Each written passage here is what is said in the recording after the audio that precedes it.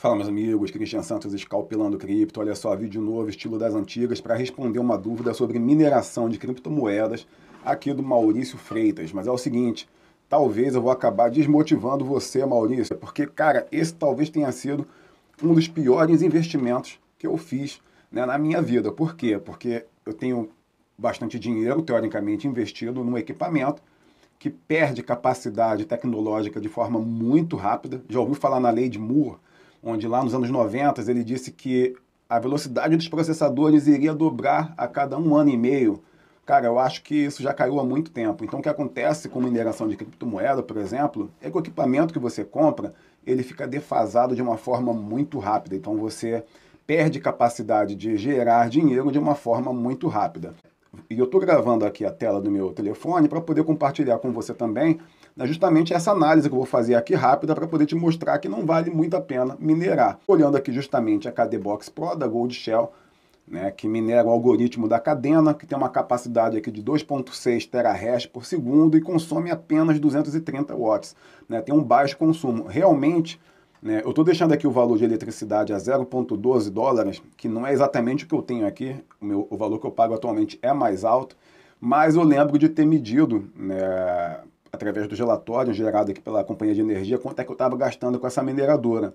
E na época, dois anos atrás, era ali na casa dos 20 euros por mês que é, eu estava consumindo de energia utilizando essa mineradora o dia inteiro.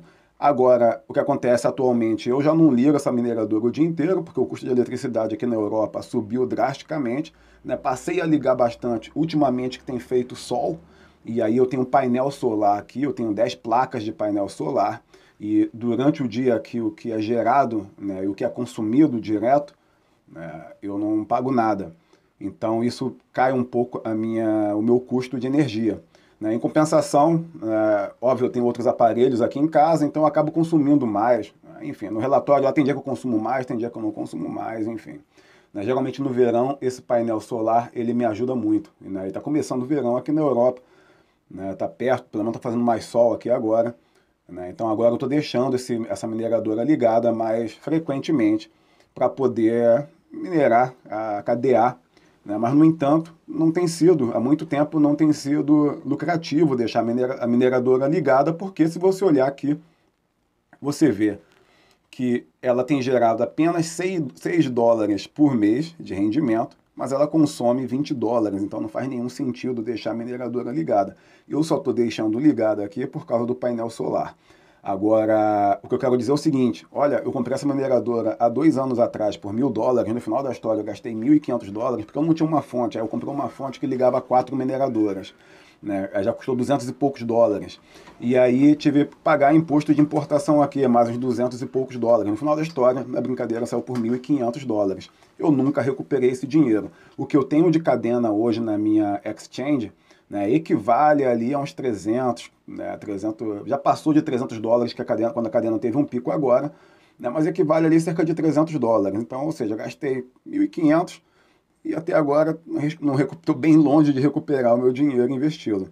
Beleza? Então eu acho que mineração é um negócio que não vale a pena, porém, é, a única forma de fazer valer a pena, talvez, né, algo que eu pensei em fazer, mas aí eu desisti, fui para um outro caminho, né, mas talvez a forma de fazer valer é você comprar mineradora, se preparar para comprar várias mineradoras ao longo dos anos, que aí você vai fazer preço médio ali no, no que você está pagando por terahash, porque, por exemplo, se você for no site da Gold Shell agora, você vai ver que uma mineradora que com o dobro da capacidade dessa aqui, da KD Box Pro, está custando apenas está custando apenas 180 dólares, cara. Então eu pensei em comprar essa mineradora aqui para poder fazer um preço médio drástico ali é, pago por terahash, paguei um valor aqui 5, 6, 7 vezes maior do que está aqui agora, eu poderia simplesmente triplicar, né, adicionar mais 5 terahash na minha capacidade de, de mineração por apenas 200 dólares, teoricamente. E ia gerar agora o triplo de KDA, de KDA que eu gero por dia. Mas, moral da história, eu meio que desisti da mineração comprando equipamento, porque ele perde valor muito rápido né? E você não consegue acompanhar. É, e eu preferi pegar esse dinheiro e, colocar, e colocar diretamente na cadena. Em vez de gastar 180 dólares numa mineradora que daqui a pouco ela vai ficar inviável, né? Ela nesse momento continua inviável, né? É melhor talvez pegar esse dinheiro, compra tudo de cadeia, de cadena e vamos ver o que acontece. Né? Melhor você tentar ganhar dinheiro com, com ativo. Você pode é, vender a qualquer hora, tem muito mais liquidez do que esse, esse equipamento aqui. Né? Agora, a forma que eu tenho, talvez aqui, de sair do prejuízo é quando o preço do ativo voltar a subir, eu vendo as moedas que eu acumulei, vendo também o próprio equipamento. Quando essa mineradora aqui passar a ter um resultado positivo, o preço dessa mineradora lá no site da Gold Shell também vai aumentar. Então esse preço atual de 180 dólares talvez seja até uma oportunidade para quem quer começar. Né? Começar com 180 dólares talvez também não seja algo tão arriscado, né? você não está perdendo tanto caso, caso dê errado. É, então, talvez valha a pena arriscar, mas o que eu quero dizer é o seguinte: é um negócio que demora muito para poder se pagar e talvez você consiga fazer muito mais dinheiro fazendo trade né, com esse capital. Agora, eu também devo lembrar que essa, essa mineradora, quando eu comprei também, gastei 1.500 dólares nela, né, eu devo lembrar que a maior parte do dinheiro que eu utilizei para comprar essa mineradora veio de trade de futuros que eu fazia na época.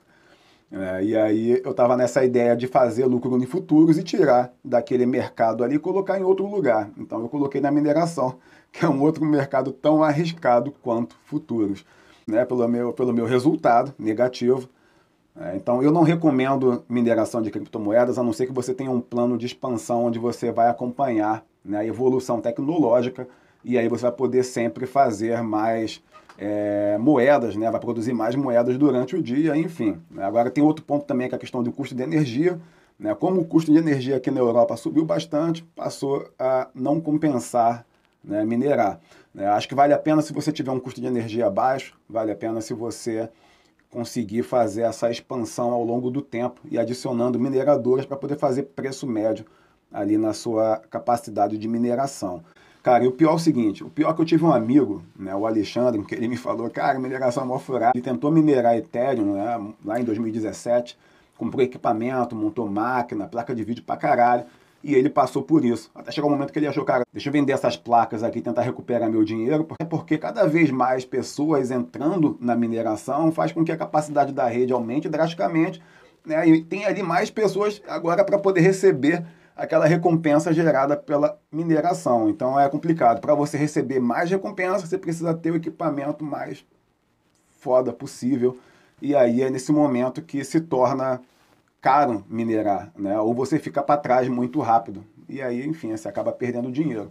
Porém, a única ressalva é que nesse momento, como o mercado saiu de, um, de uma época de baixa, eu tenho acompanhado os preços da Gold Shell, o que eu posso dizer é que esses equipamentos estão com preço baixo. Né? Pode ser que venha a subir no futuro, porque a minha mineradora, inclusive, né, quando eu comprei por mil dólares, eu achei que estava fazendo um puta negócio, ela custava 7 mil dólares há seis meses é, é, antes da minha compra. Então pensei, caralho, excelente oportunidade. Mas a verdade é essa, que em seis meses ela já está obsoleta, ok? Então é isso. Curtiu o vídeo, aperta aí curtir, se inscreve no canal. Abraço, fui, tchau.